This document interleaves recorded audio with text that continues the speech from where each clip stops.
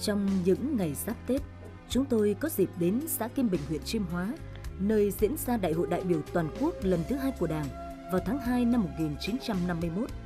Đại hội đầu tiên của Đảng được tổ chức ở trong nước và ngoài thủ đô Hà Nội.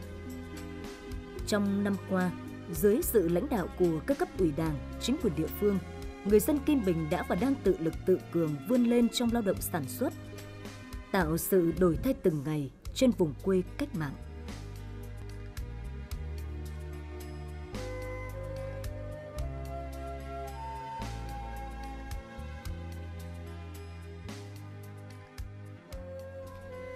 Nghị quyết Đại hội Đảng Bộ xã lần thứ 18, nhiệm kỳ 2020-2025 đã xác định rõ mục tiêu đến năm 2025, phấn đấu tăng giá trị sản phẩm trên đơn vị diện tích đất lúa đạt từ 120 triệu đồng một hecta trở lên. Nâng hệ số sử dụng đất 2,9 lần, thu nhập bình quân đầu người đạt 60 triệu đồng một người một năm, giảm tỷ lệ hộ nghèo bình quân 4% một năm và quyết tâm xây dựng xã Kim Bình đạt chuẩn nông thôn mới nâng cao. Bám sát những định hướng, mục tiêu và những giải pháp của Đại hội Đảng bộ xã lần thứ 18, các tri đảng bộ trực thuộc đã họp phân công trách nhiệm cho từng đồng chí đảng viên, tích cực tuyên truyền vận động nhân dân chuyển đổi cơ cấu cây trồng vật nuôi, khai thác hiệu quả tiềm năng đất đai, nâng cao giá trị kinh tế trên đơn vị diện tích canh tác. Thực hiện cái nghị quyết đại hội đảng các cấp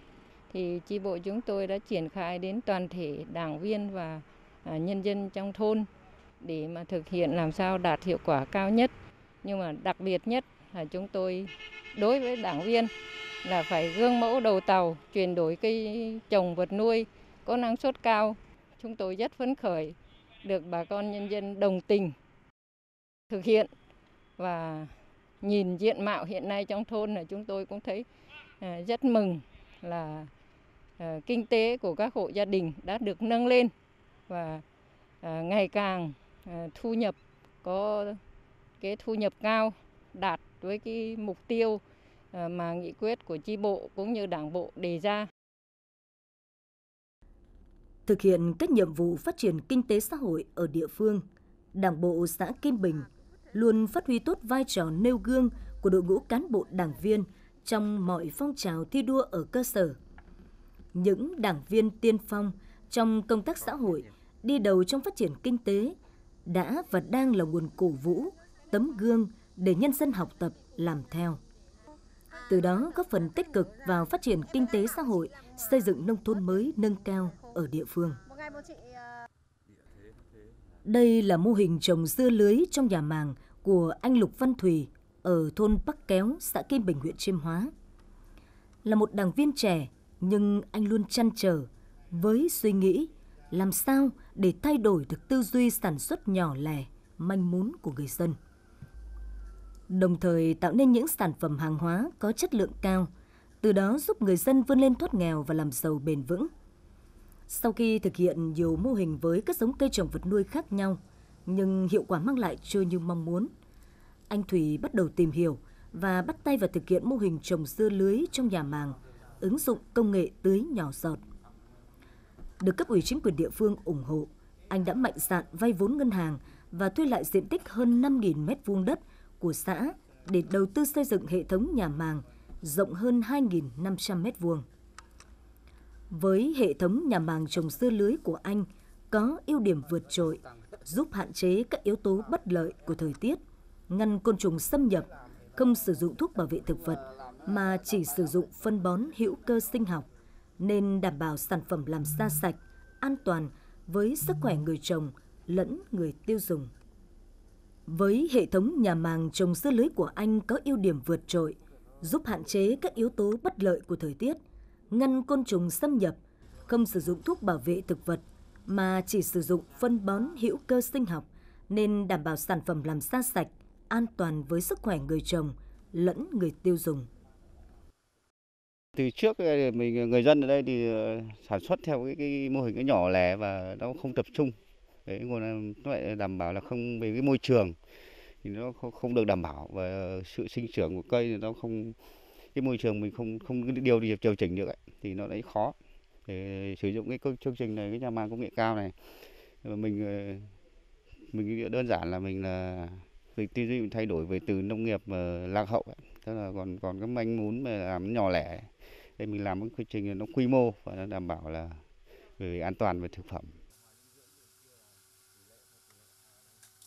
Việc áp dụng khoa học kỹ thuật vào sản xuất, tuân thủ quy trình kiểm soát chặt chẽ từ câu chọn giống, trồng, chăm sóc, theo dõi quá trình sinh trưởng, nước tưới cho đến khi được thu hoạch. Mô hình trồng dưa lưới ứng dụng công nghệ tưới nhỏ giọt của anh Thùy đã mở ra triển vọng trong sản xuất nông nghiệp ở địa phương. Đây cũng là cơ hội giúp nông dân học hỏi kinh nghiệm, tiếp cận với kỹ thuật công nghệ tiên tiến để tạo ra sản phẩm sạch, an toàn cho sức khỏe người tiêu dùng. Vâng, trước hết ờ, về cái chương trình này tôi cũng ờ, tạo công an việc làm ở địa phương để giải quyết cái việc làm địa phương và đặc biệt là thành viên của hợp tác xã. Mong muốn tiếp theo là cũng ờ, mong muốn mở rộng thị trường. Tức là mở rộng cái, cái chương trình này đến các tỉnh lân cận. Và muốn phát triển hơn nữa về cái nhân rộng cái mô hình này ra đảm bảo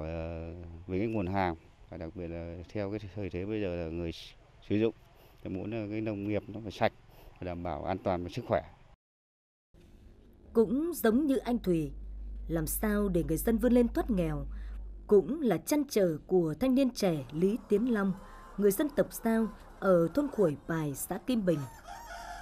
Một thôn với trên 90% là đồng bào dân tộc Giao, cuộc sống của bà con còn nhiều khó khăn do sản xuất còn manh mún, nhỏ lẻ, chưa tạo được sản phẩm hàng hóa. Với suy nghĩ để vận động được người dân, bản thân mình phải gương mẫu làm trước. Anh đã nghiên cứu, tìm hiểu và nhận thấy nuôi gà là rất phù hợp tại địa phương.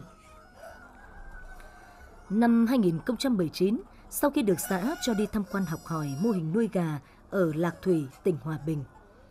Trở về, anh đã đầu tư xây dựng hệ thống chuồng trại và nuôi thử nghiệm 1.000 con. Sau 5 tháng thu lãi hơn 30 triệu đồng.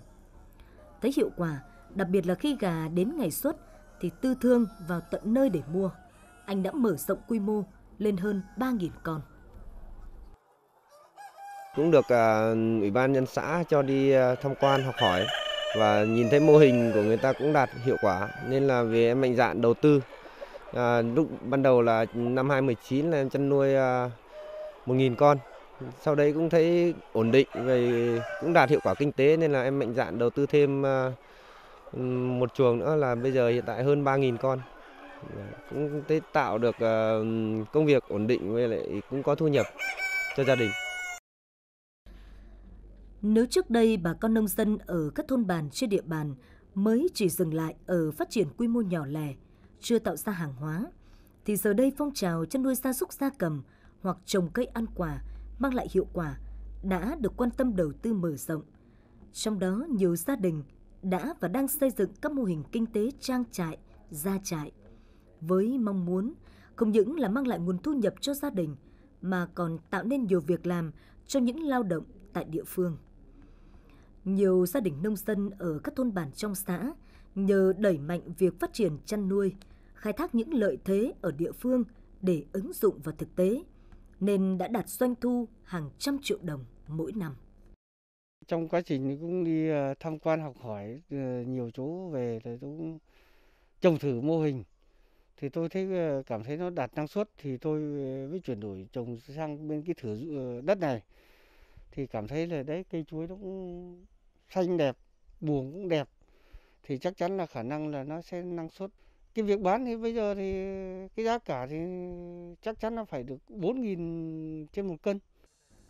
Để nâng cao đời sống cho nhân dân, Đảng bộ xã Kim Bình đã tổ chức triển khai thực hiện đồng bộ các chính sách về phát triển kinh tế nông nghiệp nông thôn. Trong đó chú trọng việc tập trung chỉ đạo, triển khai thực hiện các quy hoạch sử dụng đất, đề án, dự án trong lĩnh vực phát triển kinh tế nông lâm nghiệp. Đồng thời tăng cường công tác khuyến nông, chuyển giao khoa học kỹ thuật trồng trọt chăn nuôi. Qua đó đã thực sự làm cho tư duy nhận thức của nhân dân có sự chuyển biến mạnh mẽ theo hướng sản xuất hàng hóa tập trung. Mạnh dạn chuyển đổi cơ cấu cây trồng vật nuôi ứng dụng có hiệu quả những tiến bộ khoa học kỹ thuật và sản xuất, tạo ra những sản phẩm có chất lượng gắn với xây dựng thương hiệu, đảm bảo đáp ứng nhu cầu thị trường, nâng cao giá trị sản phẩm nông sản và tăng thu nhập cho nông dân. Vai trò nêu gương của mỗi cán bộ đảng viên, đoàn viên được phát huy, do đó đã tạo được sự đồng thuận trong các tầng lớp nhân dân đối với các phong trào thi đua yêu nước ở địa phương. Năm 2021, mặc dù gặp rất nhiều khó khăn trong cái công tác phòng chống dịch Covid-19, tuy nhiên thì cấp ủy chính quyền địa phương cũng đã uh, có nhiều giải pháp để triển khai thực hiện. Thì năm 2021 thì ờ, đã hoàn thành cơ bản các chỉ tiêu về thực hiện nhiệm vụ phát triển kinh tế xã hội, đảm bảo quốc phòng an ninh. Đặc biệt là cái công tác xây dựng nông thôn mới trên địa bàn xã. Thì có thể nói là cũng là một cái cố gắng rất là lớn của tập thể cấp ủy và chính quyền địa phương. Thì năm nay thì cơ bản là ờ, các chỉ tiêu đạt và tập thể ờ, cấp ủy sau kiểm điểm phân loại tổ chức cơ sở đảng và đảng viên cấp ủy chính quyền đều hoàn thành tốt nhiệm vụ trở lên. Đời sống của nhân dân thì ngày càng được nâng cao và cải thiện. Để phát huy sức mạnh đại đoàn kết toàn dân, Đảng bộ xã Kim Bình luôn chú trọng công tác xây dựng chi bộ đảng trong sạch vững mạnh, đáp ứng yêu cầu nhiệm vụ đặt ra.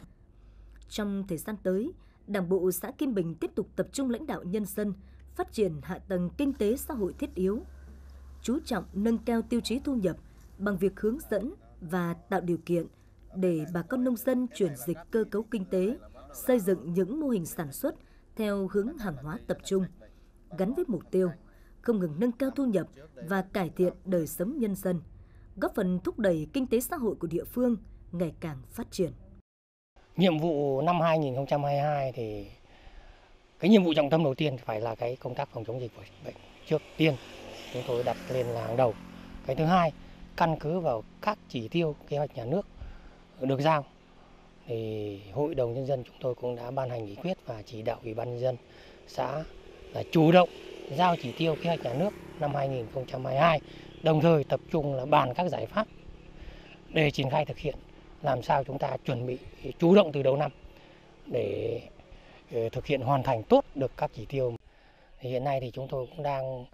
Ờ, tập trung chỉ đạo còn định hướng cho nhân dân một số mô hình đối với lại cây con có lợi thế trên địa bàn xã. Mùa xuân mới đang về trên quê hương cách mạng Kim Bình với những mục tiêu nhiệm vụ và giải pháp cụ thể trong lãnh đạo phát triển kinh tế xã hội cùng với sự quan tâm của Đảng, Nhà nước, cấp ủy chính quyền và tinh thần vượt khó vươn lên của đồng bào các dân tộc trong xã. Tin rằng Kim Bình sẽ ngày càng phát triển và trở thành xã nông thôn mới nâng cao vào năm 2024.